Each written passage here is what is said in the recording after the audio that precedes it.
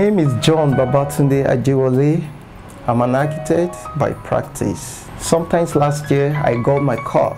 Then I called on Cornerstone Insurance Company. Then my car was registered. After a few months, a bus vehicle ran into me, you know, and um, got my car damaged. Then I called on Cornerstone, you know, and um, they just asked for, you know, few evidence on on the vehicle. Surprisingly, the claim was paid.